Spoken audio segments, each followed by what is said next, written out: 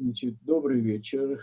Мы с вами с молитвой, как всегда, чтобы нам была даст помощь свыше в постижении сложных аспектов Торы, мы с вами приступаем к нашему занятию. И я хотел сегодня с вами поговорить о Песах и о пасхальной Агаде, но э, не с э, как бы обычной такой точки зрения, потому что я думаю, что многие все, многие слышали, многие моменты и многие вещи все слышали. Вот, э, э, хотел взять просто какой-то какую-то главную мысль, которая есть э, в Агате, и попытаться ее вместе с вами, вместе с вами обсудить. Вот, э, давайте попробуем с вами оттолкнуться э, от того, что от того, что рассказывает, от того, как строится пасхальная Агада. Пасхальная Агада начинается с призыва, который мы с вами видим в Гемаре, начать рассказ с тяжелых моментов или даже, можно сказать, с отрицательных моментов, которые на иврите определяются как гнай, да, то есть нечто плохое, и прийти к нечто хорошему, к шебах, то к славному, к достойному. Вот вопрос, что такое, что такое гнай, и вопрос, что такое Э, шевах, вопрос, что такое плохое и что такое хорошее. И здесь у нас э, Раф и Шимуэль, я сейчас попробую сделать, э, попробую сделать, Натан, если можно, мне нужно попробовать, нужно поднять на экран нужно поднять на экран материал, а у меня он не поднимается. Ну, хорошо. Если он не поднимается даже, то я попробую вам тогда читать, но для того, чтобы не э, задерживать. Вот. Тем более, что у меня сегодня как-то больше на иврите, я постараюсь вам читать и переводить. Да? Вот, э, у нас, э, у нас в Талмуде,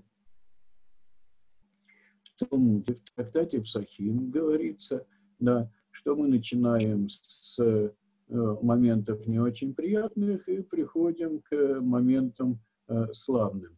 Это Псахим, Псахим 115 лист, и здесь возникает вопрос, а что ж такое моменты неприятные, то есть с чего мы начали и к чему мы, э, к чему мы пришли. Ну, пришли мы к свободе, это понятно. А с чего мы начинали? И тут э, два великих мудреца. Первое поколение Амараев, как вы помните, в Бавеле, в Вавилоне, Раф говорит, что э, сначала мы были э, сначала мы были идолопоклонниками, да, а э, сначала мы были идолопоклонниками. Это момент неприятный. То есть мы были идолопоклонниками, а Всевышний привел нас к служению, э, к служению Ему.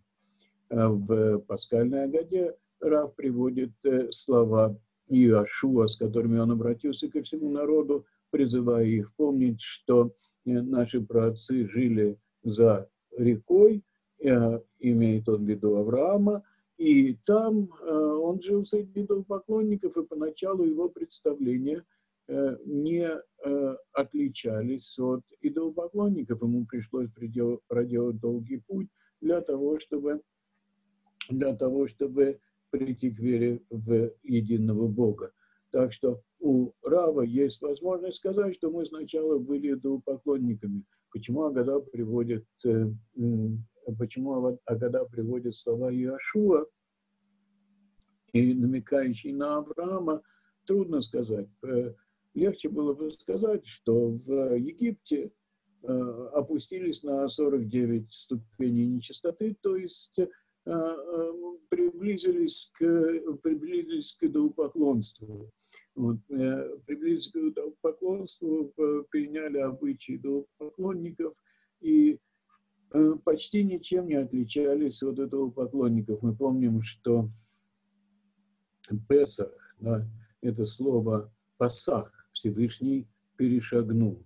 Да, перешагнул, как мы помним, о чем идет речь. Всевышний перешагнул через, через дома сыновей Израиля, эм, потому что когда он э, проходил по Египту и как бы держал э, за руку э, ангела смерти, который поражал дома египтян.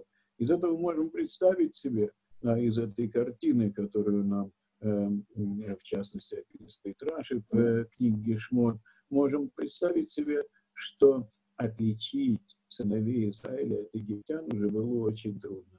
Это мог только Всевышний, заглянув куда-то в самые-самые-самые глубины души, туда на 50 уровень, где э, связь э, души сыновей Израиля, она сохранилась. Да? А вот ангел, который не, не заглядывает на этот 50 уровень, он бы не смог отличить сыновей Израиля от э, египтян. В Египте опустились очень-очень низко, приблизились к двупоклонникам, и только какой-то, какая-то последняя ступень, которая различает только Всевышний, два различимые ангелы уже не, не соотносятся, отличала сыновей Израиля от египтян. И это можно было бы сказать э, вполне, вполне мы можем сказать, если даже нам приводится Э, слова Игашуа из книги Игашуа э, об Авраама Авину, то можно сказать, что Рав, по крайней мере, намекает на это, что мы были идолопоклонниками, и Всевышний приблизил нас к служению Ему. Да. А Шмуэль говорит, да, Шмуэль говорит, мы были рабами, да, это то плохое, с чего, с чего мы начинаем. Да. Если, эм, если мы внимательно э, будем вглядываться в году, то в Агаде есть два начала. Одно по Раву, а другое по Шмуилю. Одно то, что мы были э, идолопоклонниками или близки к идолопоклонству, а по Шмуилю то, что мы были рабами. Да? И тут корень всех, э, корень всех споров, корень всех э, разногласий между, э, между мудрецами. Рав и Шмуэль отразили это, а до них, до них мудрецы также спорили. Да? О чем идет речь? Речь идет о,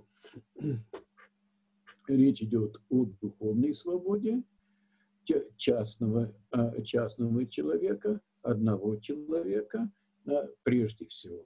Да? Или речь идет о национальной свободе и национальной, национальной независимости.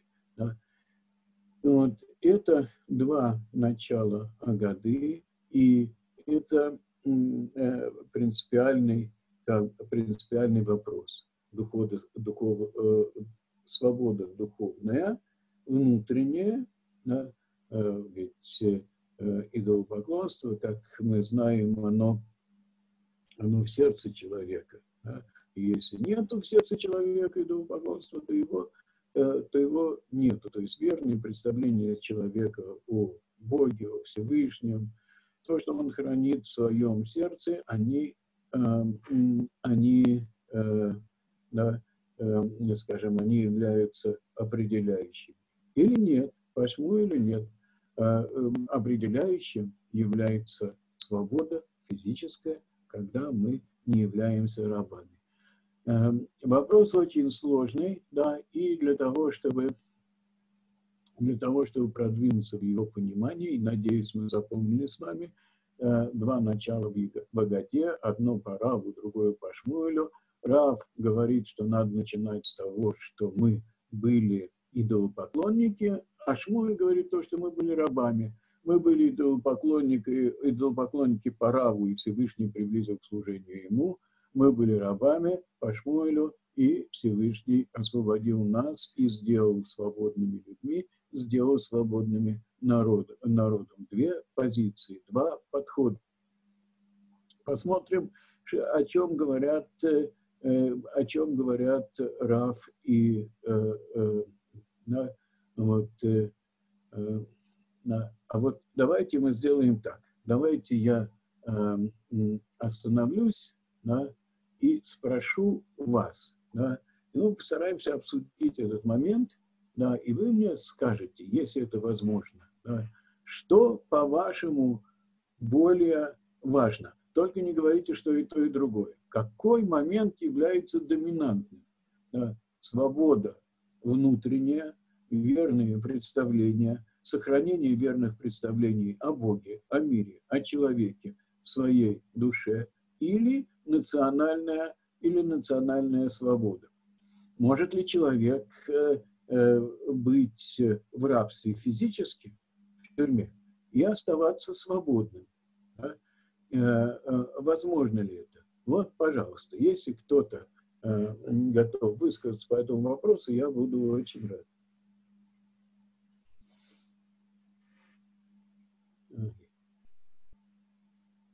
Я могу высказаться. Да, пожалуйста, пожалуйста.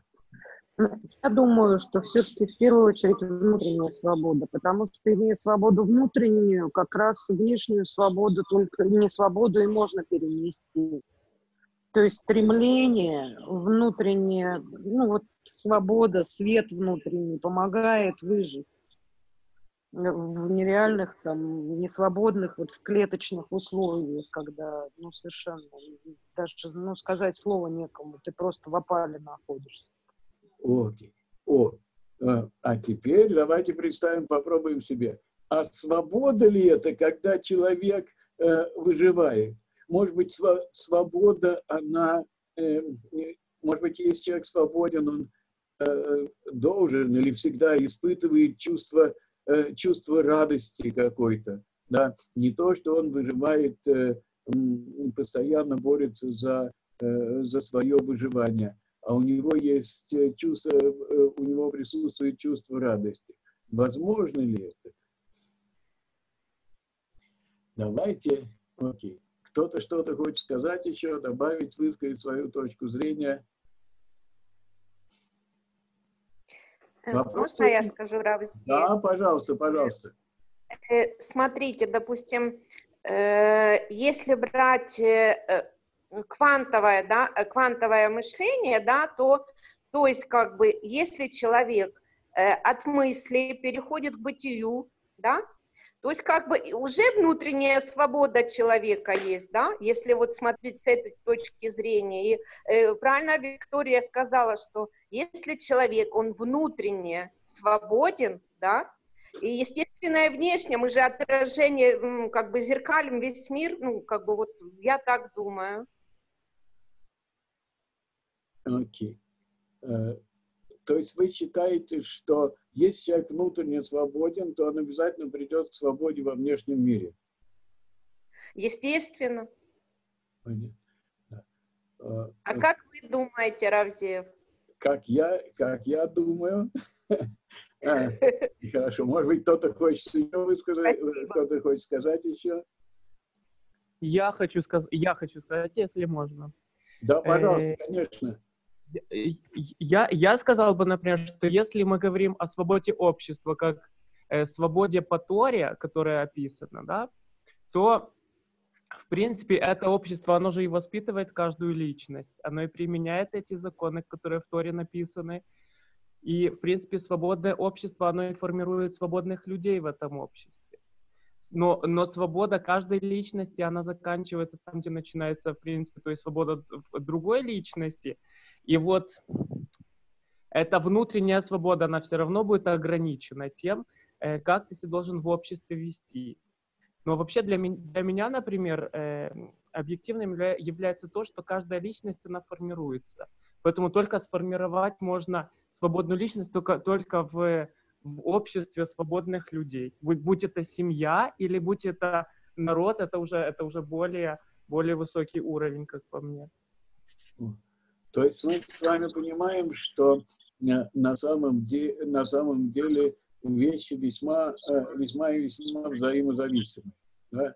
Что, э, человек, что человек, что человек, выросший, человек, выросший в рабстве, в несвободном обществе, он, он не воспитан как свободный человек. Свободу нужно, свободу нужно воспитывать.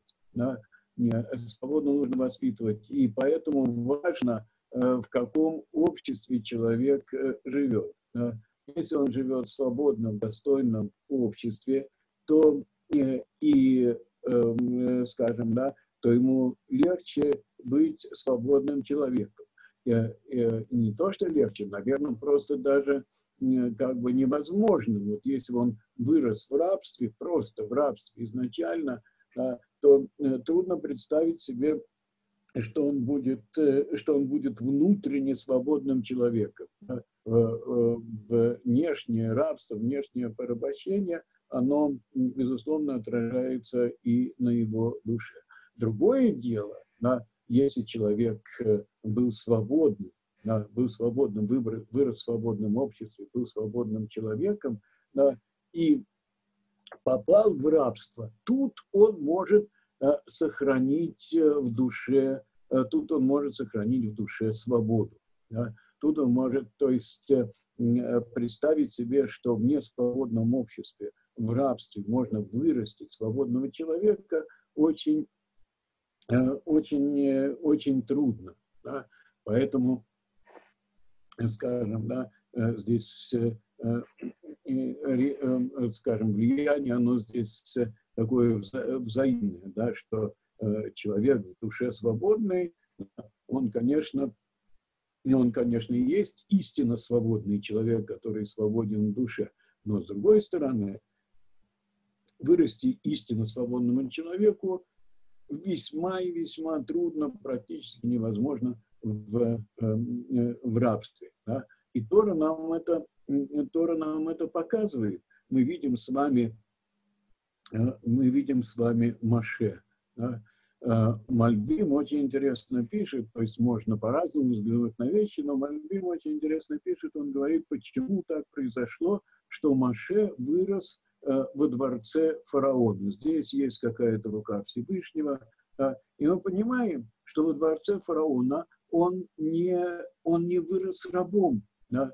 Более того, э, Мальбим пишет, что у него э, были качества аристократии. Да? А что такое, что такое аристократия? Это люди, которые Э, которые знают, что такое отдать свою жизнь за страну.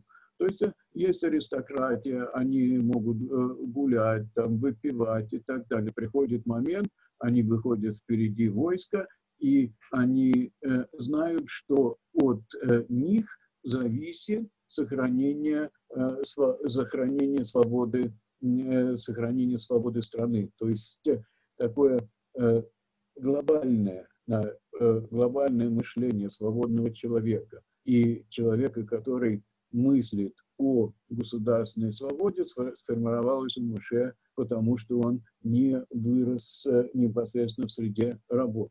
Этим и объясняется то, что он, э, то, что он увидев, как египтянин бьет еврея для того, чтобы его убить, он ударил египтянина и ударил египтянина и убил его. Он, как свободный человек, он не, э, не мыслил себе такого положения, когда, э, э, когда, его, когда его народ находится в том состоянии, что его можно бить и убивать. И что же произошло? На Маше донесли, ему пришлось убежать. Да? И 40 лет он находился в пустыне. И практически не вспоминал о сыновьях Израиля, вспоминал как-то подспудно-то, потому что, почему? Э, потому что он считал, что никого вывести нельзя, что народ находится в таком состоянии, что он погряз в рабстве, у него мышление рабов, раба невозможно остановить, э, освободить. Вот ты сейчас разбей его оковы, отпусти его на свободу, он он будет мыслить, поступать и действовать так же, как раб, который боится, боится своего хозяина, действует, э, действует из страха. Э, он привык, думает только о сохранении собственной, собственной жизни, да, и вся психология, вся психология раба – это то, что невозможно изменить. И когда Всевышний посылает его обратно в, обратно в Египет, да, его обратно в Египет для того, чтобы вывести народ, Маше семь дней отказывается идти. А, это человек, который ударил египтянина, который заступился за народ. Почему он отказывается идти? Потому что а, на него донесли. Ему стало понятно, что он имеет дело с рабами, да, что а, э, у рабов такое, у рабов такое свойство. Да, они они боятся любого движения, боятся любого, любого стремления к свободе. Они не могут вместить в себя это понятие, понятие свободы, борьбы за свободу. Эм, они не могут вместить это понятие, не могут вместить это понятие в себя. И поэтому мы представляем с вами, да, что, конечно, наверное, есть в мире исключения, разные, э, разные исключения, но в принципе человек, вы, выросший, э, э, человек, выросший в рабстве, его очень трудно изменить его психологию. И это то, что произошло с сыновьями Израиля. Всевышнему пришлось вытаскивать их из Египта психологически – когда сыновья Израиля почувствовали себя, когда сыновья Израиля почувствовали себя свободными, тогда, когда египтяне утонули, э, утонули в море. Тут у них настала э, э, психологическая свобода. Вот за ними гнались их хозяева. Единственное, что они могли себе представить, да, это броситься им в ноги, да, Э, броситься им в ноги и умолять, чтобы они обратно взяли их в рабство. Только когда они перешли через море, египтяне утонули, начался, произошло, э, произошел процесс освобождения, они поверили в Маше, да, и поверили бы Всевышнему, поверили в Маше. Да. В каком смысле поверили в и поверили в Маше? Изменилось их, э, их психологическое состояние. Говорится, что э, э, на что похож, э, Митраж говорит о том, на что похож исход из Египта. На то, как пастух засунул свою руку в чрево коровы для того, чтобы помочь ей родить. Да?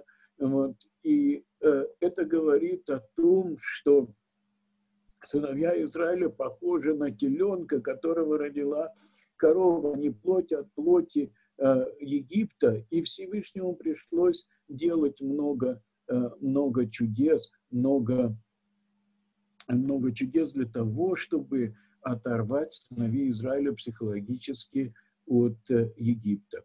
И в этом плане, в этом плане горькая зелень, которую мы едим с вами в Песах, да, Э, один из э, обязательных моментов заповедь э, есть горькую зелень в Песах, да, она очень и очень важна. Горечь. Да. Что, такое, что такое горечь? Да, мы можно говорить о, можно говорить о горечи рабства. Да, вот, о горечи рабства. Да, но на самом деле здесь не совсем вот горечь рабства – она не совсем э, вяжется. Да?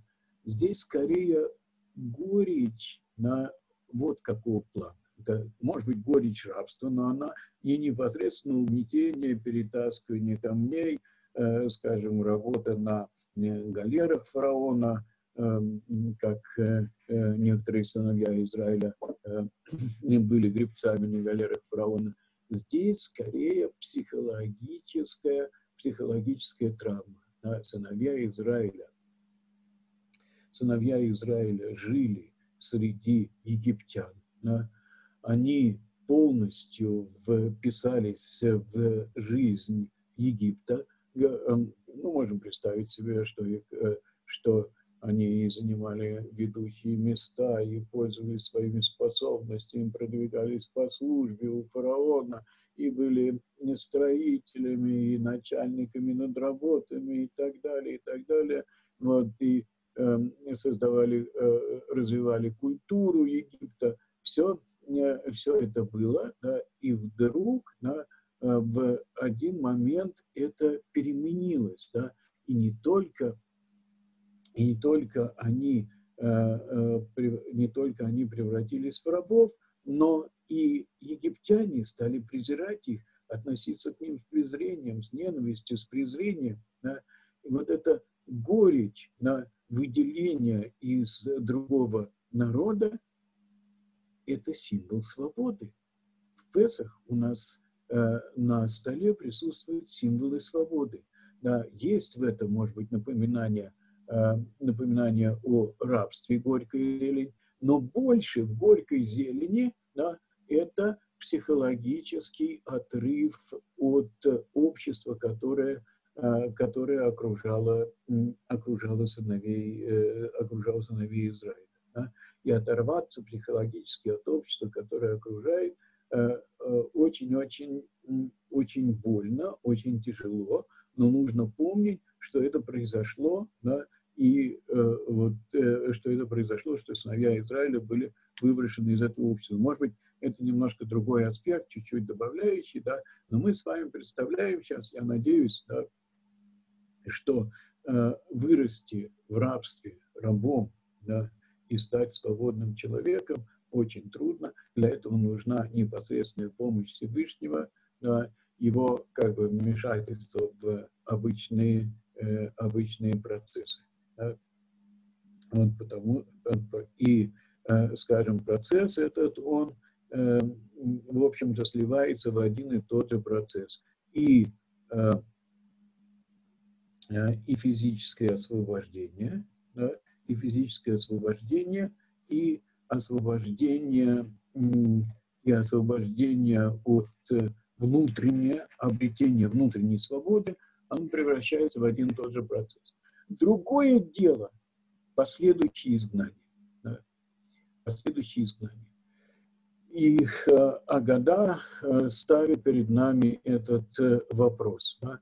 Вот, вот мы были выведены Всевышним из Египта. Он нам дал свободу. И, да, может быть, не сразу, не мгновенно, да, но он нас оторвал от Египта на которого мы были, похожи, на который мы были похожи, от которого мы отделились как теленок от, от э, коровы, а, вот, оторвались э, от него с помощью Всевышнего. Теперь мы попали в новое изгнание. Наши мудрецы живут, э, Агада рассказывает, рассказывает нам о периоде, периоде римского изгнания. И теперь возникает вопрос, можно ли сохранить духовную свободу в новом изгнании? Мы ее обрели однажды, она нам была дарована. Можем ли мы ее сохранить или изгнание отнимет у нас свободу внутреннюю, духовную, превратит наш, нас э, в рабов? Да? И э, об этом на самом деле э, об этом на самом деле спор мудрецов, или они думают об этом, когда они спорят – о свободе. И мы понимаем с вами, что Рав говорит, что главная, главная свобода, э, она э, духовная, внутренняя. Мы были идолопоклонники, стали э, поклоняться, стали служить Всевышнему. Это уже произошло. Это главное. Да? Вот, это главное. Это главное то, что произошло. Теперь мы проходим через новые изгнания. Вот мы попали под власть Римской империи, да, и это остается главным.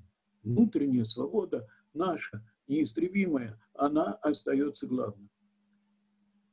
Шмуэль говорит нет. Да. Шмуэль говорит нет, попав под власть чужого народа, мы не сможем сохранить внутреннюю свободу и э, свобода, если так можно сказать, государства, национальная независимость, она является, она является главным. Она, может быть, даже не является самоцелью. Конечно, внутренняя свобода человека, она, можно назвать ее самоцелью. Да? Но без э, построения страны мы, э, без, построения, без освобождения, мы не сможем не сможем быть людьми свободными. Мы не сохраним ту свободу, которая нам была дарована в Египте. Мы потеряем ее в новых изгнаниях, говорит Шмуэль, нам необходима свобода на физическом уровне, необходима своя страна. Если мы понимаем с вами этот спор мудрецов, да, понимаем спор, спор мудрецов, он не столько спор о том, Э, э, не столько спор о том, как я начал, может быть, не совсем, э, не совсем верно поставил вопрос или не совсем по теме поставил вопрос. Вопрос не о том, как обрести свободу, может ли человек обрести свободу, может ли обрести человек свободу в рабстве, потому что в рабстве обрести свободу внутреннюю очень-очень-очень трудно. Но давайте не будем спорить об этом, говорят мудрецы. Да? Может ли человек, который уже стал свободным, может ли народ, который стал свободным, сохранить свою свободу, когда он опять попадет в рабство? Вот в чем вопрос. Да? И это вопрос, это вопрос очень важный и э, очень принципиальный. Да? Вот, э, Рав считает, что нужно работать в этом направлении, на сохранение духовной свободы, а Шмуэль считает, что это невозможно, что нужно смотреть только вперед, только в будущее, мечтать об э, исходе из, э, об исходе из знания. Глядя на современный мир, да, мы можем понять, мы можем понять, что этот вопрос остается актуальным и, э, актуальным и для э, сегодняшнего времени, что этот спор не закончился и до сегодняшнего времени. И понятно, что, э, и понятно, что спор, он зависит от времени. В разное время, да, в разное время ситуация видится по-разному. Да. Сегодня, когда есть когда есть э, страна, когда есть э, государство, и есть, эм, и есть возможность, да, есть возможность жить в стране и быть свободным, не, не находиться в среде другого народа. С другой культурой, с другой представлением, другими религиями, которые все равно оказывают давление на человека, он не способен быть и не способен быть свободным, в, живя в другой стране. Раби Лезер говорил, что человек, который живет, как мы с вами упоминали, живет за пределами э, земли Израиля, э, за пределами страны Израиля, он занимается идолопоклонством разрешенным способом. Нет разрешенного идолопоклонства, он как будто он находится в среде идолопоклонников, он э, э, празднует с ними э, те же праздники, и, э, э, скажем, общается, впитывает в себя их представления, не может быть полностью, не может быть полностью свободным. Поэтому, когда сегодня есть страна, есть возможность да, жить, в, жить в стране, которая, по крайней мере, позиционирует себя как еврейская страна, в основе которой так или иначе, худо или бедно, лежит э, иудаизм, да, то понятно, что этот вопрос Э, становится, становится несколько по-другому. Рав мог в Бавеле, эм, Рав мог в Бавеле и Шмуэль в Бавеле, мог ставить вопрос, а не, не, э, не главная ли задача сохранить духовную свободу. Да? Шмуэль ему отвечал, да? это, эм, э, это невозможно.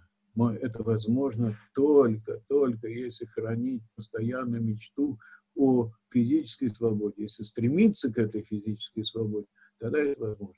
Да, в Бавеле можно было рассуждать об этом сегодня, да, об этом, э, об этом странно э, рассуждать. Зачем делать напряжение, усилия, живя среди другого народа, чтобы хранить э, духовную свободу, да, вот, когда можно э, в, э, в, в стране, э, которая в стране, которая направлена на, на иудаизм, на, на иудаизм, на Тору, на свободу, эм, на развитие, на развитие страны в свободной, зачем ставить, как бы, нужно было бы ставить такой вопрос в наше время. Окей. Что скажете, пожалуйста, если кто-то хочет высказаться? Я надеюсь, что мы поняли, Рав и Шмуэль, мы поняли глубину проблемы. Да? Поняли глубину проблемы. Еще раз хочу подчеркнуть, да, что э, вырасти в рабстве свободным человеком очень трудно, но если тебе дарована свобода, так или иначе, ты стал свободным человеком, ты, как говорят, вкусил вкус свободы, то дальше можно думать, а можно ли эту свободу сохранить, если опять попадешь э, в чью-то зависимость. Да? Быть физически в рабстве, но сохранить свободу в душе – это спор Рава и Шмуля. Пожалуйста, если что-то непонятно или если что-то хочется э, спросить и отреагировать, жду вашей реакции. Э, можно, Разеев? Смотрите, тогда э, что... Обязательно. Да. А как же у нас же получается физическая свобода, политическая, национальная, да, как вот государственная, да? Вот как бы как вот с этим тогда быть? Потому что, ну, духовная свобода, это, ну, как бы по сравнению с этими свободами, это, ну, получается немножечко другое, как бы, да? Хотя бы даже взять то, что физическая свобода, как бы, да, это, ну, внутренний выбор, да, чем мы отличаемся от животных, да, у животных нету права выбора, у нас есть право выбора. Вот как, Безусловно. Как еще раз хочу, еще раз хочу подчеркнуть все, что вы говорите, правильно. Да? Э, еще раз, стать свободным человеком в рабстве, просто родившись в рабстве и вырастя в рабстве, очень трудно. Видим на примере Торы, на примере того, что мы с вами, э, с вами обсудили. Да? Вот теперь да, вырасти свободным человеком в свободном обществе гораздо и гораздо легче моменты взаимо, взаимосвязанные, моменты взаимосвязанные друг, э, друг с другом. Внутренняя свобода и э, свобода во внешнем мире. Я свободный человек, да? я э, гражданин своей страны, я чувствую себя э, достойно, я не чувствую себя, я не чувствую себя постоянно, э, постоянно униженным меня не записывают во второй сорт, э, меня не записывают во второй сорт граждан. Я не должен приспосабливаться, я не должен скрывать свое, э, свое мнение. Это очень и очень помогает мне быть свободным человеком, развиваться как свободной личности. Да? Представив себя в изгнании, в чужой стране, где ты чужой, где кто должен скрывать свои, э, скрывать свои э, мнения, где ты не можешь развивать свои, э, не можешь развивать свои идеи, свои, ты должен прятать свои мысли. Ты, ты чувствуешь, что ты гражданин второго сорта, безусловно, это влияет, безусловно, это влияет на душу. Есть одно спасение в такой ситуации, да, это мечта быть свободным человеком, мечта когда-то освободиться и мечта жить э, среди своего народа, где ты не будешь чувствовать себя человеком второго сорта. Э, э, мне представляется это, вот, скажем, та проблема, главная, которая поднимается в годе. Мне кажется, что очень важно прочитать те тексты, которые есть у нас, и проанализировать. А вот перед нами лежит Агада. Мы видим, что есть в ней два начала. Один раз мы начинаем как Рав с, с духовного рабства и приближения к духовной независимости. Другой раз мы начинаем как Шмуэль, да, рабами мы были, вот, а стали свободными людьми, говорим о свободе, о свободе физической. Да? И это спор мудрецов, и, по крайней мере, надо понять, о чем они, о чем они говорят, понять глубоко, то, что я и пытаюсь с вами сделать вместе. Хорошо. Последний, э, последний вопрос. Равзев, смотрите, получается, значит, э, свободный э, человек, значит, это человек, у которого нет страха, да, я так поняла, или это уже другое? Вот, это правильный вопрос. Можно спросить себя, мы можем спросить себя, что такое, что такое свобода. Да? Что такое свобода? Мы понимаем, наверное, здесь есть очень-очень много э, разных аспектов, но я бы сказал, что я бы сказал, что свобода – это знать свое предназначение в мире и иметь возможность, по крайней мере, продвигаться к его исполнению. Вот, э, и Всевышний вывел сыновей Израиля а, из э, Египта и не для того, чтобы дать им свободу, делай, что, делай, что хочешь. Свобода, ура, мы можем делать, что хочешь, ман падает с небес. Да, он подвел их к горе Синай да, и дал Тору. Но прежде чем дать Тору, он определил им задачу. Да. Быть Юли Мамлехет Кавани, Бегой Кадош. Вы будете мне царством священников и народом святым. Да? То есть вы должны распространить знание о едином Боге во всем мире и тем самым принести благословение во весь, э, весь мир. Это, э, это ваша задача. Да? Она где-то заложена у человека в душе, понятно, да, что человек стремится к добру и э, э, к добру э, не только к благу для себя, да, а для того, чтобы распространять добро во всем мире. А добро невозможно без раскрытия божественного присутствия, без приближения человека ко Всевышнему, как сказал Елель, да, люби людей, приближая их к Торе. Да, вот так же и народ. Да, и и человек, и народ. Это свобода человека знать свое предназначение и иметь возможность его, его исполнить.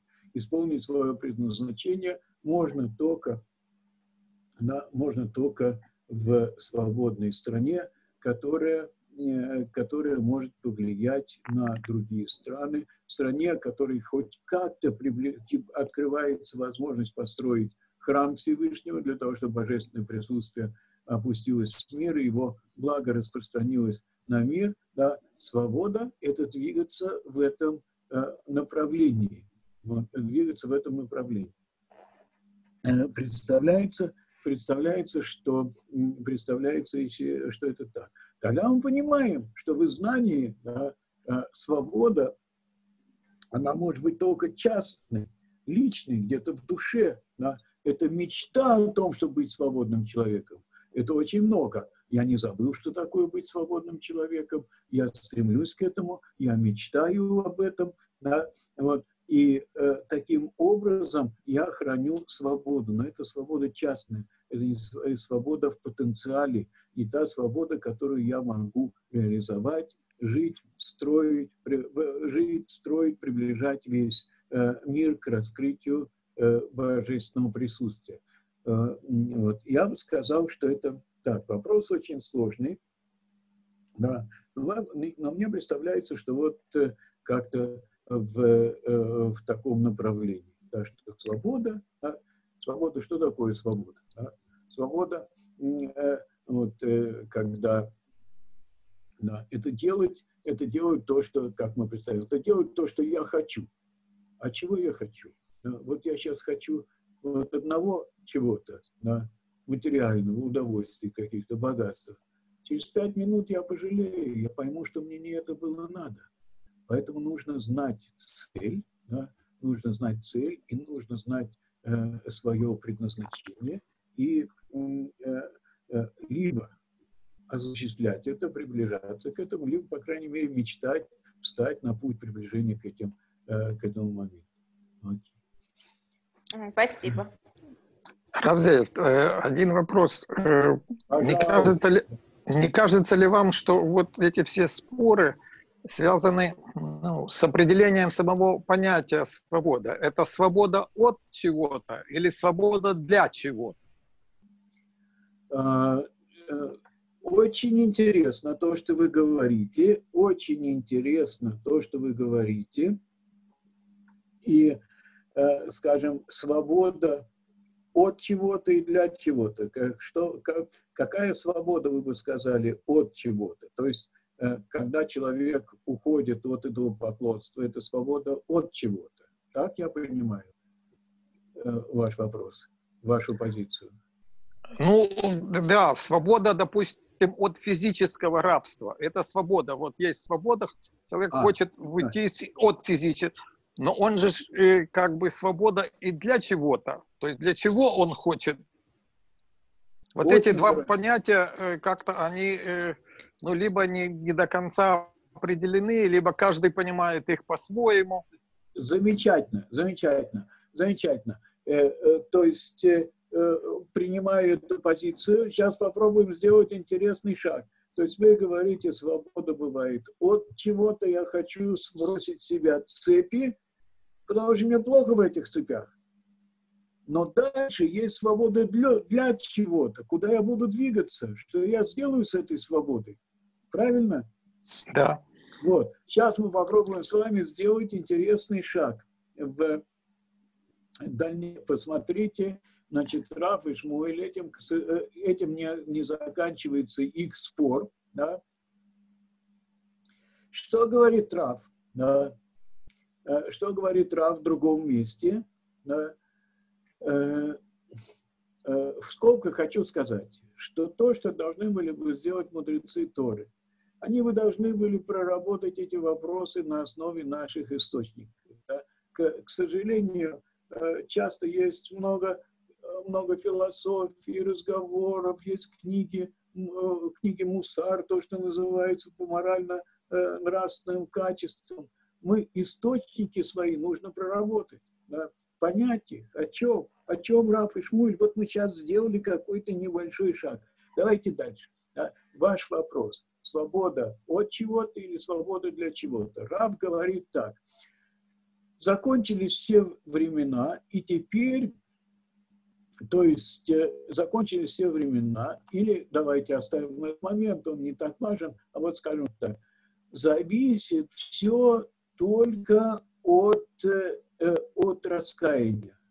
Ну, раскаяние здесь надо понимать широко, да, э, понимание, э, обретение верного понимания. Да. В любом случае, Рам говорит, и освобождение из Галута зависит от раскаяния и от хороших дел. То есть, если осознаете, если поймете, да, то что дальше? Дальше произойдет какое-то чудо, вы окажетесь свободными. Да? Вот. Это позиция раба. Он остается на своей позиции, как вы помните, что духовное, внутреннее является определяющим были идолопоклонниками, стали, э, стали служить Всевышнему. Теперь Рав говорит о происходе из этого изгнания, из последнего изгнания.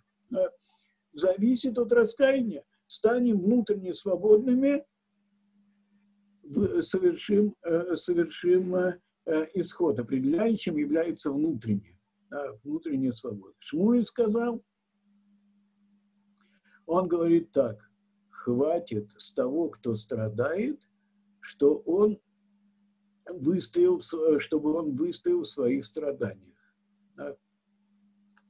Что он имеет в виду? Да?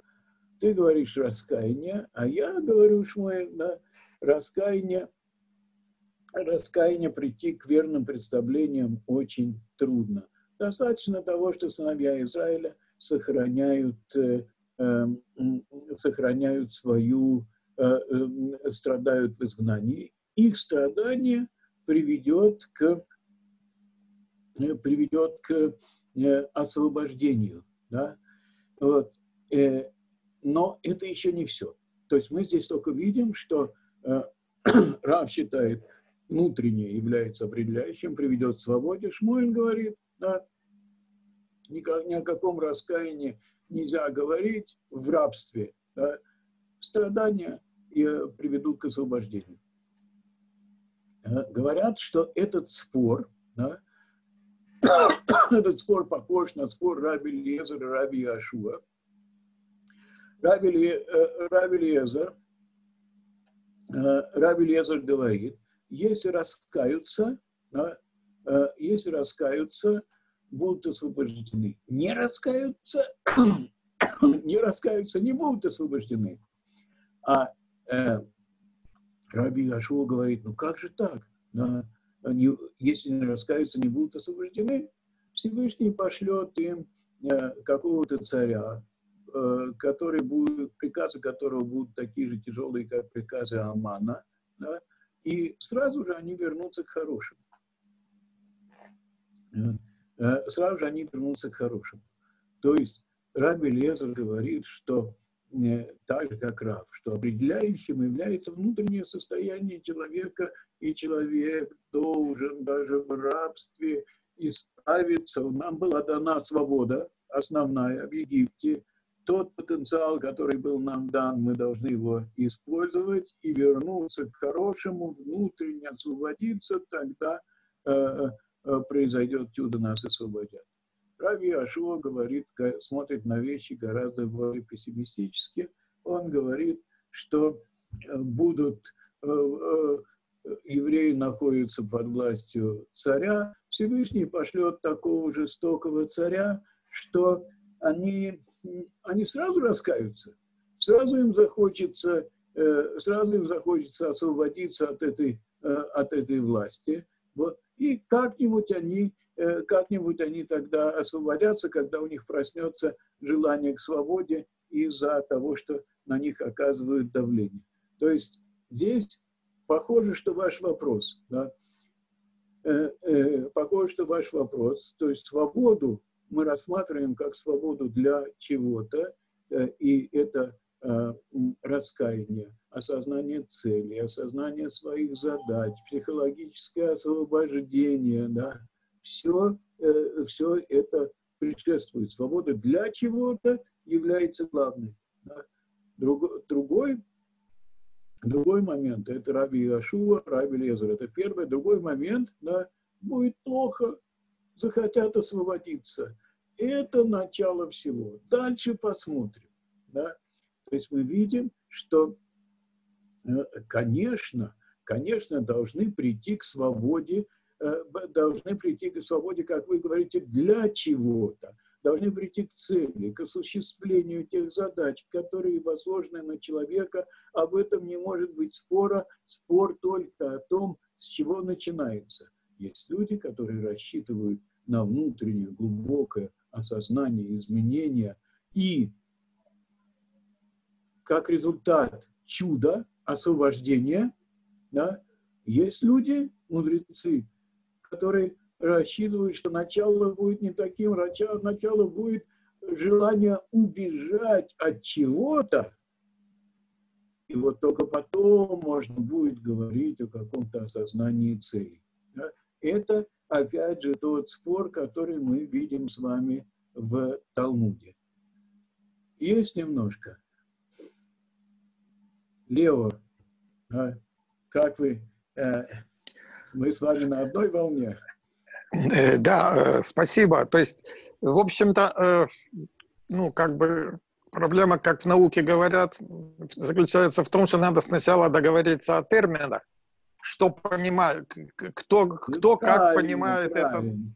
Правильно. Да, но мы, к сожалению, с вами, это вы правильно совершенно говорите, к сожалению, мы э, в наших рамках, может быть, не сможем прийти к точному определению, но, по крайней мере, нащупать да, мы с вами понимаем, да, что когда мы произносим свободу, вы правильно говорите, да, что есть две градации свободы. Свобода от чего-то и свобода для чего-то. Это, это мы, по-моему, и мы видим, что э, мы, мы видим, что мудрецы не спорят, там, скажем, что свобода, э, свобода должна быть полной, человек должен э, стремиться к цели, к великому, к, э, к великому, благу э, и для себя, и для других. Да, э, и в этом есть свобода. Вопрос в том, с чего начинается. Можно и начать со сознания, и э, Всевышний поможет, сделает чудо, или начинается с бегства от чего-то. Да? Это спор мудрецов. Спасибо. Окей. А, теперь, если мы чуть-чуть здесь с вами разобрали и представили, вот у нас есть Раф и Шмуэль, опять же, которые появляются у нас в Агаде, оба мнения в Агаде присутствуют – как бы Агада оставляет нам на, э, решать, э, э, нам решать, что является приоритетным или, скажем, что является доминантным и с чего начинать. Да. Шмуэль говорит еще одну интересную вещь. Он, не, он говорит не только то, что рабами мы были, и это плохо, и стали свободными, и эм, и стали свободными, и, и это хорошо. Он в Гемаре говорит еще одну, э, еще одну интересную вещь. Он говорит, что нету между нашим временем разницы и временем Машеха. Опять же здесь, как вы правильно сказали, надо дать определение. Ну, попробуем представить себе в общем. На наше время Шмуль имеет, когда народ находится в зависимости от других народов, Э, э, то, что называется галут, и временем Машиха, когда народ освободился или когда он э, начинает освобождаться, временем совершенно другим, которое должно принести совершенно иные окраски в жизни еврейского народа и в жизнь всего мира. Вот он говорит, есть два времени, есть зависимость, есть освобождение или начало освобождения. Вот Шмуль говорит, нет никакой разницы между нашим временем и временем Машеха, кроме одного. Да? Это, э, э, это независимость от народов мира. И это высказывание очень интересное, да? потому что сказать, что э, сказать такой момент, сказать такой момент, да, что вот мы были рабами, а теперь мы свободные люди, да, и нет никакой разницы. Только вот наша свобода физическая – это то, что ты, Шмуэль, нам обещаешь в будущем. Не может быть. У него есть какая-то задняя мысль Шмуэля. Он хочет, чтобы мы задумались. И мысль у него, да, мысль у него, с которой можно согласиться или не согласиться, да, но мысль у него такова, да, что только освободи еврейский народ, да, только освободи его, освободи его от народов мира, от рабства, от давления, от зависимости, и начнется новое время. Почему? Потому что начнут раскрываться положительные качества души, которые были в рабстве, которые были порабощены, которые были напуганы, сидели где-то глубоко, боялись, э, боялись раскрыться. И э, мы видим, что, э, опираясь на эти высказывания мудрецов, мы можем анализировать и наше сегодняшнее положение в Израиле. Да? То есть нету как бы в наших руках объявить, э, что Галут закончился, и знание закончился, закончилось, или объявить, что оно продолжается. Да, потому что мы видим, ну, объявить это мало, конечно, настроиться нужно, понять нужно. Да, вот, потому что мы видим, что политика, э, политика Израиля, да, она вся строится на страхе, на и все, что делается в Израиле, все делается из страха перед народами мира. Как бы чего, э, как бы чего не вышло. Э, поиск, поиск хозяина дяди, на которого э, нужно опереться.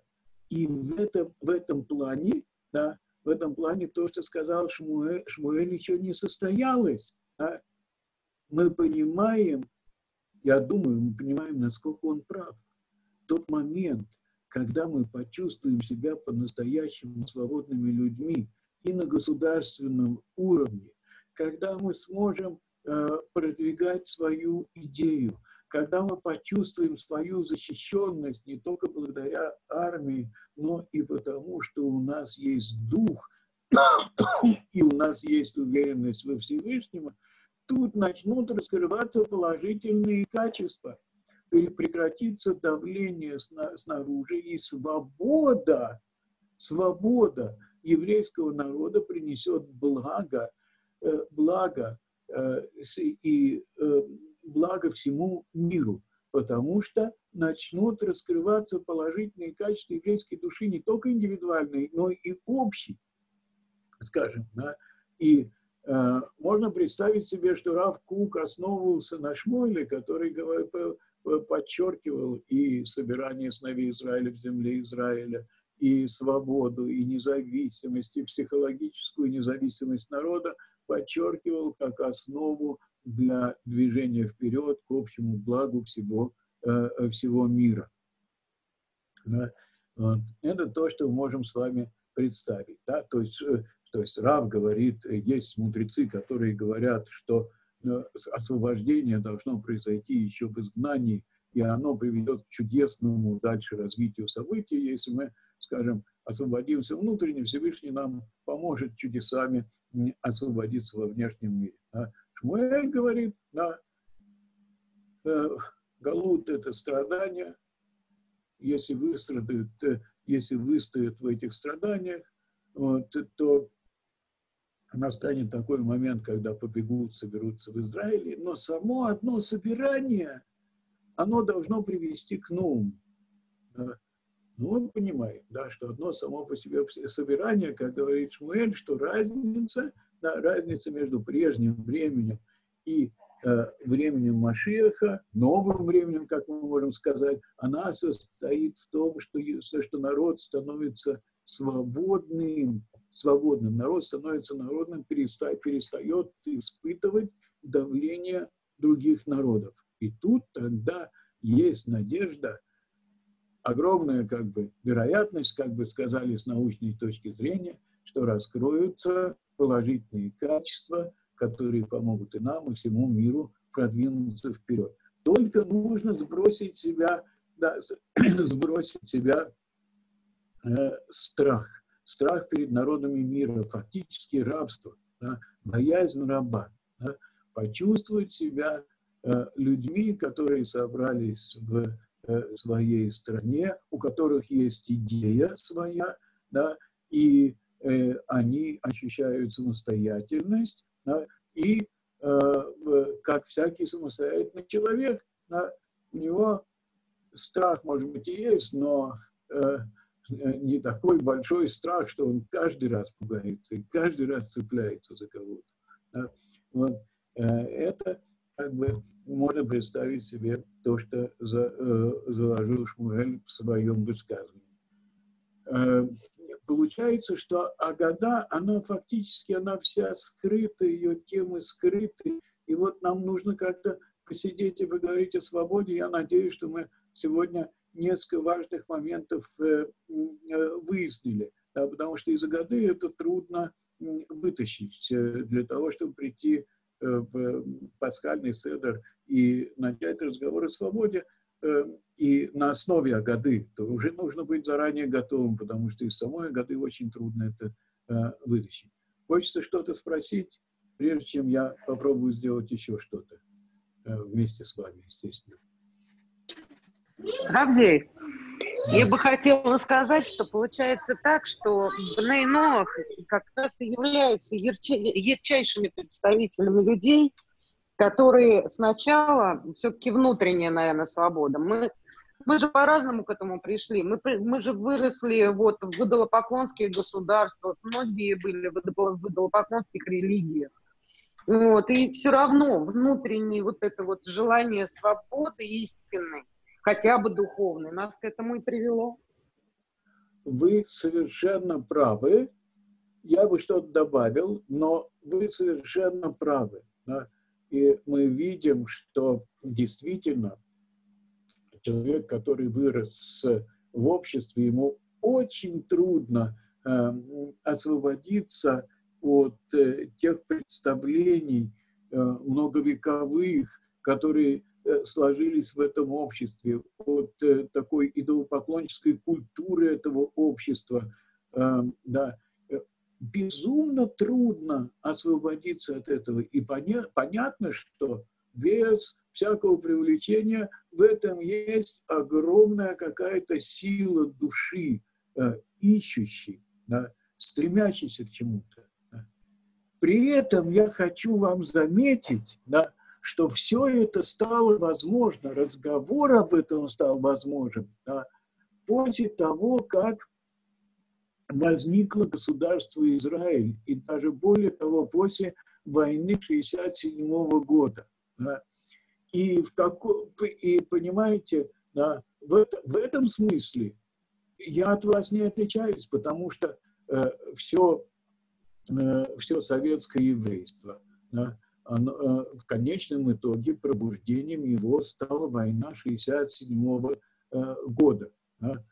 Какой там потенциал хранился, что мы получили от родителей и так далее. Наверное, что-то, как-то, но пробуждение – это начало глобальных процессов, да, связанных, э, связанных с, э, или даже не связанных, а просто процесса освобождения народа от власти мира, обретения им своей земли, обретения национального достоинства, которое мы, к сожалению, теряем постепенно в наше время, не обращаем на это не обращаем на это внимания, готовы склонять голову перед всеми, готовы отказаться от своих ценностей, готовы отказаться от результатов войны 67 года, это все понятно. Но, понимаете, да, это правильно. Да. То есть вы нашли, вы нашли путь, но э, человеку, э, человеку очень трудно найти путь, и почти невозможно, если нету света, с того конца как бы туннеля, а движения к какому-то будущему, связанного с освобождением еврейского народа, о котором говорит Шмуэль. Да. Пожалуйста, если что-то хочет сказать, еще пожалуйста. Если можно задать вопрос. Да, пожалуйста. Вот у меня сложилось такое впечатление, это уже, это уже э, не, только сейчас оно сложилось, что Э, цель, э, цель Израиль, э, цель создания Израиля это, это было создать такой приют для евреев, где не было бы проявления антисемитизма. То есть э, э, политическая свобода, о которой, о, о которой говорили, она, она всего лишь э, заключается в этом.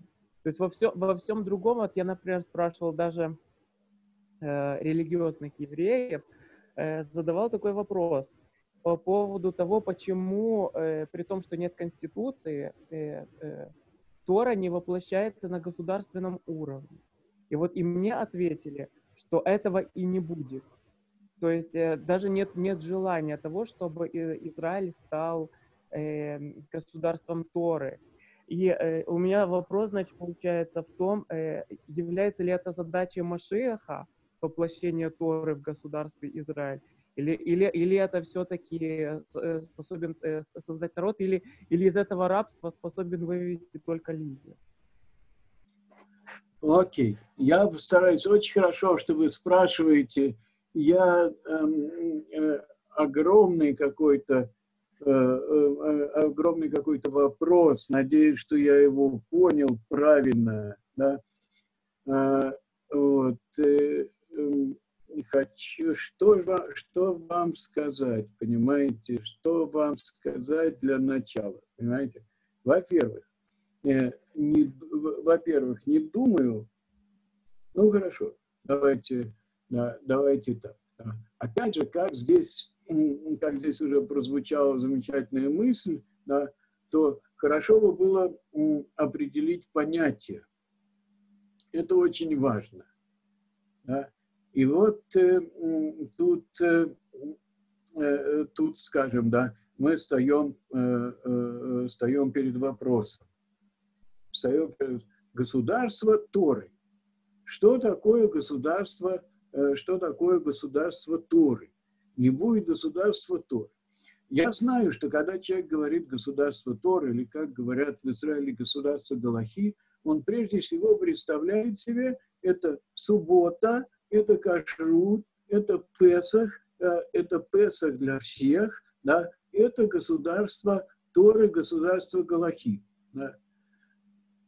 Нужно понять, да, нужно понять, что э, значит, кроме, кроме, э, э, кроме шаббата, кашрута, песаха, да, заповедь Торы – это завоевать всю землю Израиля, это э, построить храм, это охранять еврейские жизни, служа в армии. Те люди, которые говорят, что те э, люди, которые говорят, что э, государство не будет никогда государством Торы, они сами на данный момент нарушают важнейшие моменты, которые, э, скажем, да, просто законы Торы, не говоря о государстве. Заповедь каждого еврея – служить в армии, чтобы защищать народ и чтобы завоевывать землю Израиля. Эта заповедь лежит и на тех, кто живет за пределами земли Израиля. Мы знаем, что многие американцы, э, э, надо было бы приехать в землю Израиля, но хотя бы э, молодые люди приезжают и служить в армии, в израильской армии для того, чтобы исполнить фактически эту обязанность. Да, то есть акценты ценностей здесь смещены. Да? Э, кашрут, шаббат, Песах. Да? Это средства, средства. Цель была дана у горы Синай, и было сказано, будете мне народом свят, будете мне э, царством священников и народом святым. Это цель, все остальное средство. Э, все остальное средство. И э, мы, кроме того, то есть, сред, как сказать, да, не нужно, государство Торы, это государство Торы, это государство, которое распространяет идею единого Бога, которое если так можно сказать, способствует тому, чтобы божественное присутствие раскрывалось в мире. Да? Государство Торы – это государство, в котором было чудо войны 67 года. Чудо, которое было в войны 67 года, это государство Торы. Государство, в которое стекаются евреи, все, какие ни на есть, со всеми своими представлениями, недостатками, потому что недостатки можно исправить только в государстве Израиль. Это есть государство Торы, стремящееся к главной цели Торы, к раскрытию божественного присутствия во всем мире, потому что чем больше евреев в земле Израиля, тем мы ближе к раскрытию божественного присутствия в мире. Как бы математическое математическая прямая зависимость. Может быть, по экспоненте зависимость, возрастающая божественного присутствия, неважно, прямая зависимость. Чем больше сыновей Израиля в государстве Израиля, тем, тем мы ближе к раскрытию божественного присутствия. Если люди не соблюдали, если люди не соблюдали в течение э, двух поколений, да, не соблюдали субботу, вы с точки зрения той же самой Торы не можете от них потребовать соблюдения субботы. Они называются плененными младенцами, и вы не можете требовать от них, чтобы они соблюдали э, субботу. Требование соблюдать субботу. Я понимаю знаки какие-то субботы, там автобусы не ходят, там субботы. Может быть, не знаю, требует обсуждения, но требовать от людей, чтобы они соблюдали субботу и говорили, что и говорить, что это не государство Торы, потому что они не соблюдают субботу, это совершенно, совершенно неправильно. Или вы хотите вычеркнуть просто две трети народа больше, и сказать, что все, кто не соблюдают, они не народ и не имеют никакого значения, да? этого не было никогда. Никто так не делал. Да? Вот. И э, что, значит, да, теперь, э, э, э, что в, в Израиле нету конституции, э, правильно справиться Э, в Израиле нет конституции, ведутся большие споры по поводу конституции, что должно быть записано в первом параграфе, да, вот, э, э, государство евреев, демократическое государство и так далее. Поэтому конституция не принята, потому что ведутся споры по поводу первого параграфа. Это, это, это понятно. Да? Если в Израиле закон, э, если в Израиле закон Торы, я не знаю, да, во многих, во многих моментах есть, э, э, во многих, во многих моментах закон Торы есть и исполняется всеми нормальными гражданами государства. В том плане, по крайней мере, что служат в армии, защищают жизни евреев, исполняют великую, великую заповедь когда будет государство Торы, когда будут исполняться все 613 заповедей и так далее, можно спросить, а когда это было в прошлом? Когда это было в прошлом, когда все соблюдали все заповеди? Этого не было никогда. Так что если, если рассчитывать на, э, на чудо, то, что э, Всевышний сделает чудо, и сделает чудо у нас в голове и вложит нам какое-то понимание, может быть. Но это опять же не правило Торы. Не правило Торы. Нельзя рассчитывать на чудо. Надо делать то, что ты можешь. И первое, то, что нужно, то, что сделать, нужно встать, подняться и приехать, потому что это заповедь Торы.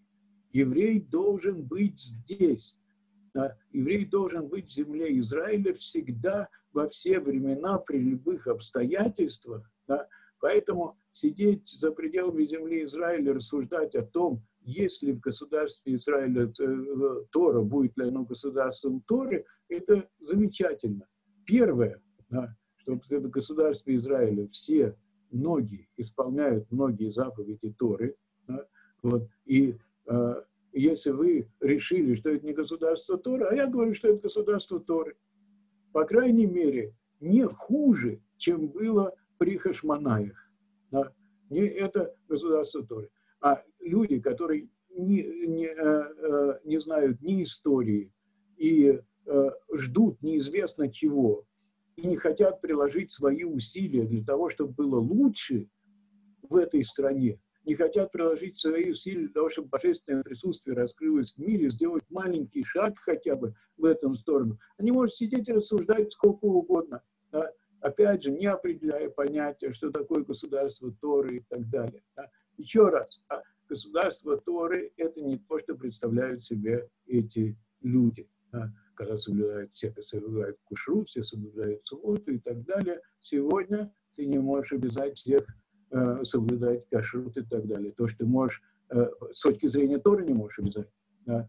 То, что можешь сделать, это то, что ты можешь сделать и должен сделать, это обязать всех служить в армии и э, двигаться к построению справедливого общества да, и э, призывать евреев вернуться в страну. Это само по себе приблизит нас к раскрытию божественного присутствия в мире, без чего мы не можем исправить мир, и это является целью Торы. Да. Поэтому это пустой разговор Израиль государство Торы, государство Тора, как ты его представляешь, какой Торы, литовской, хасидской, да, дальше начнутся эти разговоры, да, кто, кто Машиах, литов, литовский или хасидский, да, мы должны быть вместе, мы должны строить эту страну, да, и прежде всего исполнить, если ты религиозный человек, приезжай, исполняй заповедь жить в земле Израиля. Это заповедь, да, это, говорят, где это заповедь, и все, в Шуханарухе записано, это заповедь, я могу показать тому, кто не, не совсем умеет читать. Э,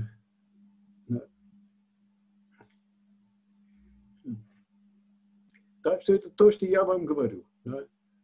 Не надо спрашивать всех и вся, спрашивайте, по крайней мере, тех евреев, которые живут в земле Израиля и э, борются за эту страну со всех точек зрения. Да? Ну, ладно. Я прошу прощения за, за несколько эмоциональную речь, иначе невозможно. Вот, э, э, с одной стороны. С другой стороны, э, очень трудно, очень трудно объяснить все сразу. Да? Вот. И замечание совершенно правильное. Нужно вырабатывать терминологию, понятия. Это тоже над этим будем работать. Хорошо. Э, окей. Можем сделать с вами э, еще один шаг, небольшой хотя бы, в плане пасхальной годы. Думаю, что да. да. Значит, мы поговорили о свободе, о том споре, который заложен в самой пасхальной годе, да, свобода, э, свобода э, внутренняя или свобода э, внешняя, государственная даже, можно сказать. Да. Вот, э, э, что является более приоритетным в, э, в период последующих изгнаний. Как бы. Это мы с вами посмотрим. Теперь давайте, давайте посмотрим с вами так. Да, вот я опять не могу поднять текст, но не важно, да, то есть просто, окей, не так страшно. Я просто подниму текст у себя и прочитаю вам.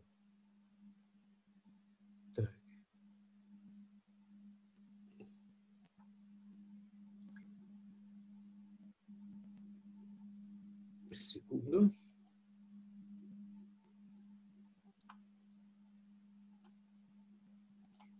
Секунду.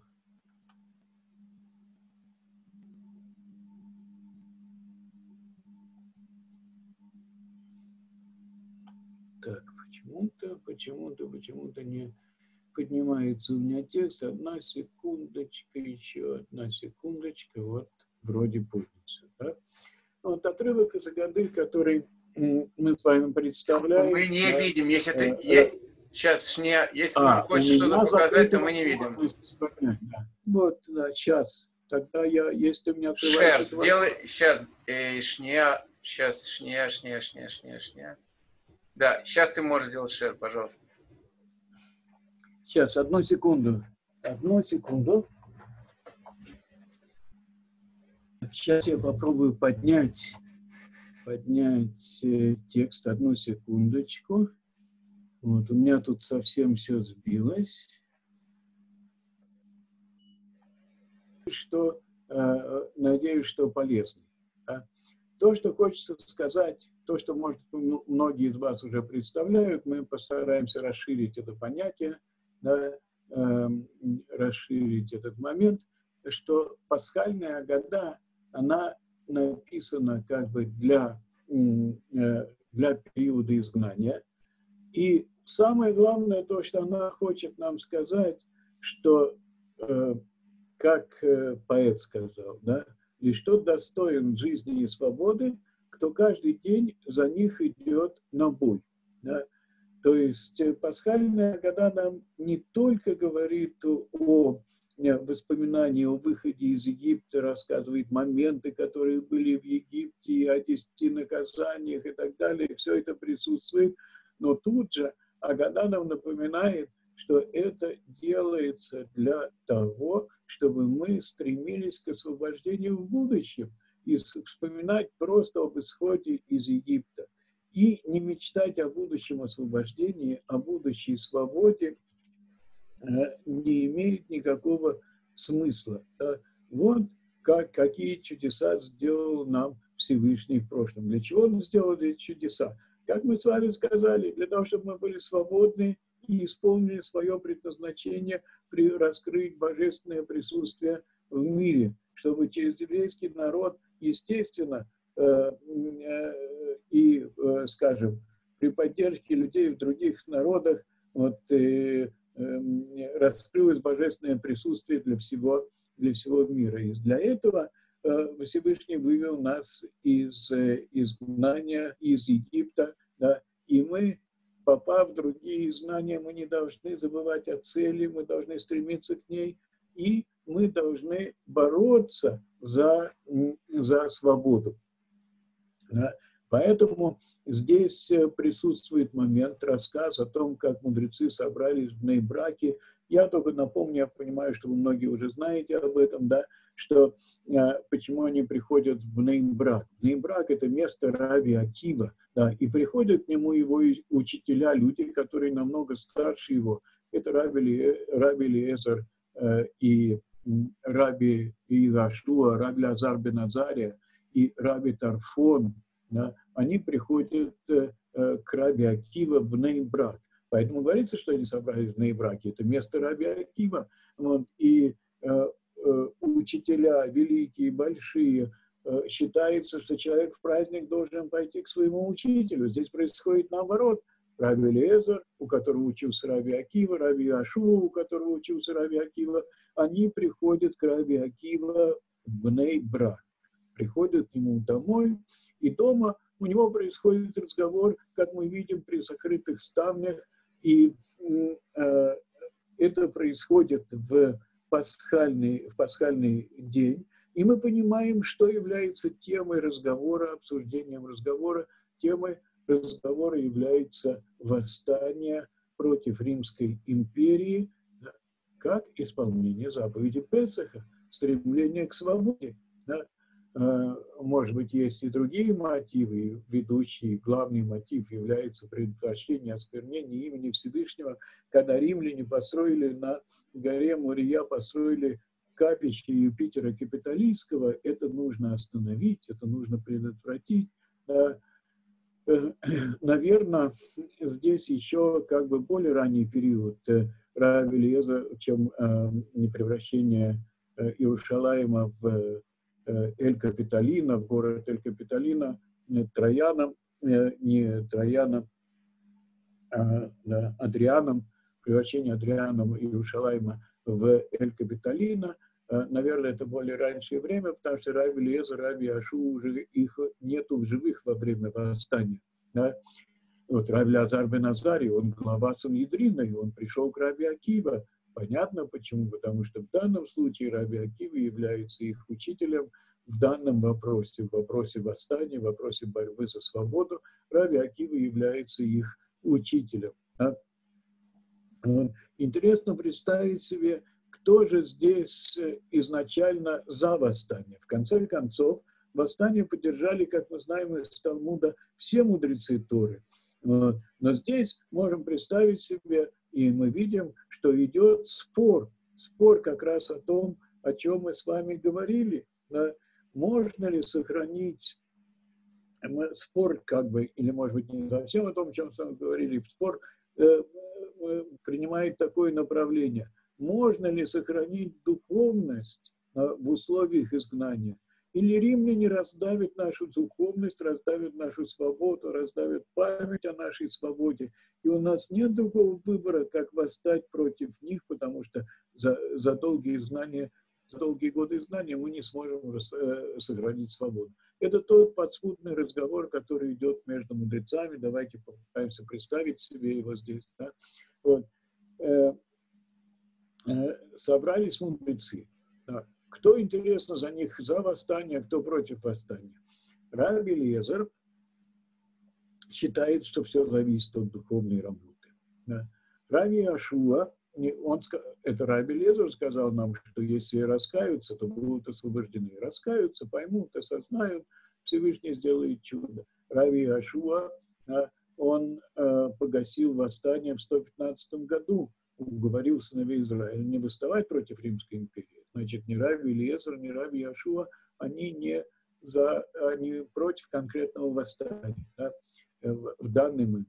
Раби Азар бен Назария, глава Сангидрина, он также считает, что можно выстоять в изгнании, есть Сангидрин, есть изучение Торы в городе Явне, там центр, это поможет нам сохранить духовность. Да. Э, Раби Тарфон, Раби Тарфон, скорее всего, за Раби Акива да, э, Раби Акива. Про Раби Акива мы знаем, что когда ему говорили, что Акива, э, скорее вырастет трава на твоих щеках, чем, э, чем придет Машиах, то Раби Акива ничего не отвечал. Да. Эм, счета, многие мудрецы считали, что 400 лет не может быть избавления от римской власти, но так же, как и предсказанное, предсказанное Авраамом пребывание в Египте.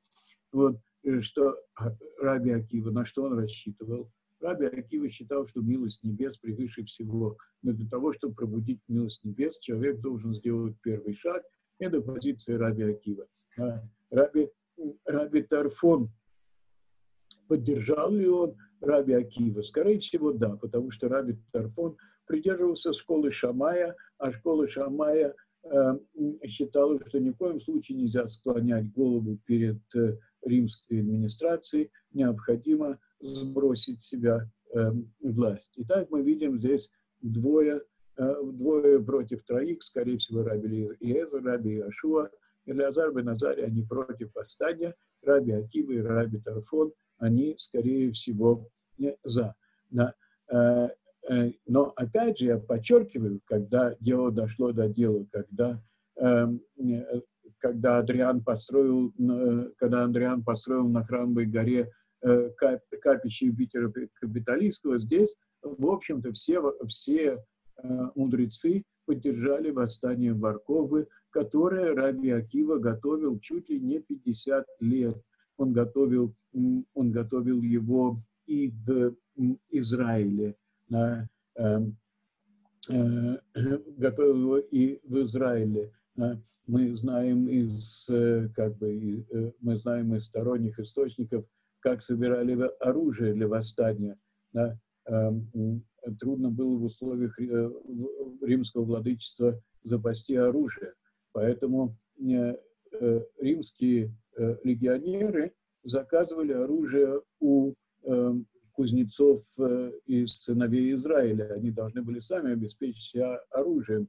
Но по тому стандарту, которое было принято в римской армии, кузнецы делали меч чуть больше, чем нужно. И когда заказчик гневался, они говорили, да, ну ладно, э, я тебе сделаю другой. Эм, тот меч, который был сделан, оставался и прятался для восстания. Раби Акива объехал общины за пределами земли Израиля. Он даже побывал в тех местах, где жили 10 колен. Тогда еще можно было найти эти места в Ассирии, он побывал там и э, обратился к ним с призывом поддержать восстание. Когда они его просто не поняли, о чем идет речь, он сказал, что 10 колен никогда не вернутся, да, что у них не будет, э, что они просто никогда не смогут э, вернуться, раз они не понимают, что такое национальная независимость, они просто никогда не вернутся из места своего проживания. Вот это Э, скажем, та обстановка, которая должна была у нас всплыть перед глазами, когда мы видим мудрецов, которые сидят и разговаривают о чем-то, о чем. Понятно, о чем они разговаривают, если великие учителя и мудрецы пришли к Раби Акива. Да, и вот мы пытаемся представить себе, кто за и кто против. Это еще задолго до восстания. Опять же, я подчеркиваю, когда ближе к восстанию, когда власть римской администрации стала совершенно невыносимой, все мудрецы поддержали восстание. Да? Теперь нам рассказывают историю Раби Лазар Назариев сказал, вот, что я как 70-летний, да, он был 18 лет, но за одну ночь посидел. Это сам по себе образ, который заложен в Агаде, Раби, Раби Лазар Назария тем самым говорит, да, Галут надо пережить, это как сон. И вот посмотрите, да, вот э, со мной произошло чудо, заснул и проснулся как бы через 70 лет, и ничего, да, вот, поэтому и мы сможем пережить изгнание, да, и вот он объясняет, да, что есть обязанность истории, прямая обязанность истории, не обычай, а прямая обязанность вспоминать о выходе из Египта ночью, не только днем, днем это как бы основное воспоминание, утром, а вечером также есть обязанность вспоминать, э, вспоминать э, о выходе из Египта. И это, опять же, э, скажем, завуалированный язык мудрецов. Раби Леозар бен Азария хочет сказать, что ночью в Египте было освобождение духовное. Всевышний прошел по Египту, он дотронулся до наших душ, и он нас освободил духовно, это духовное освобождение никто от нас больше не, не отнимет, поэтому в ночью нужно благодарить Всевышнего за то освобождение, которое Он привел для нас духовное, его никто никогда не отнимет. Мудрецы придерживаются другого мнения. Они говорят, нет, брат, да, не совсем так. Да. К сожалению, духовное освобождение можно, духовную свободу можно потерять в последующих изгнаниях. Да. Поэтому у нас нет обязанности благодарить Всевышнего за духовное освобождение, да, которое было в Египте. Оно может быть у нас, а мы его можем потерять. Да. Это не такое дело, которое уже состоялось, и ты говоришь каждый раз благодарность Всевышнему за то, что он тебя освободил. Эту духовность можно, э, можно потерять. Да? И в этом они расходятся с Раби Лазар бен мудрецы. Да? И мы понимаем, что Раби Лазар бен Азари скажет, что если мы, не можем, если мы можем сохранить духовность в любых условиях, то нет необходимости восставать против римлян. Мудрецы скажут ему, да, то, что мы с вами говорили, знаешь, в рабстве да, можно истребить э, любую свободу внутри человека. Поэтому, да, э, поэтому есть обязанность постоянно бороться за свободу, мечтать о свободе и стараться притворить эту мечту в жизнь. Об этом нам рассказывает пасхальная Агада.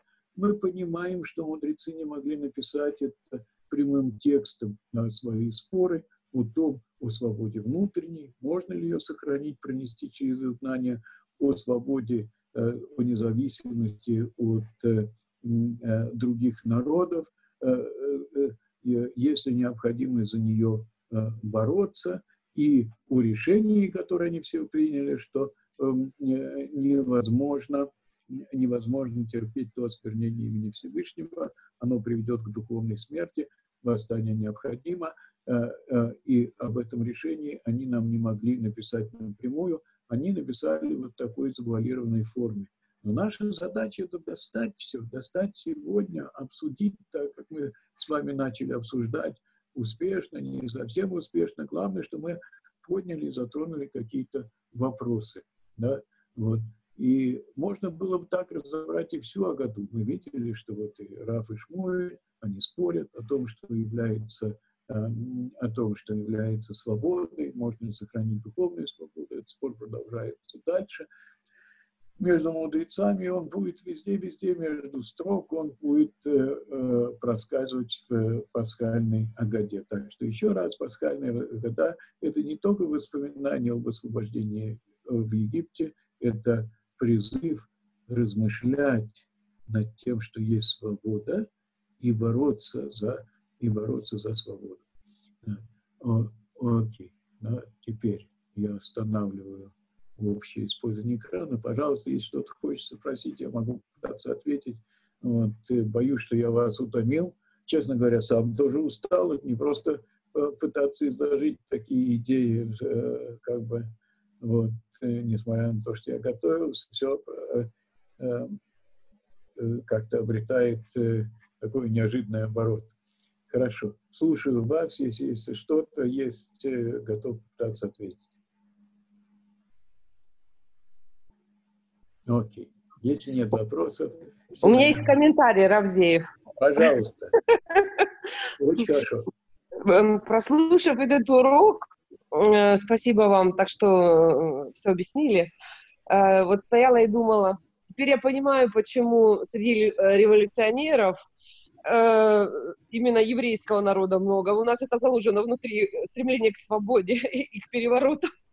Совершенно, совершенно верно. Это вопрос, это вопрос не такой простой.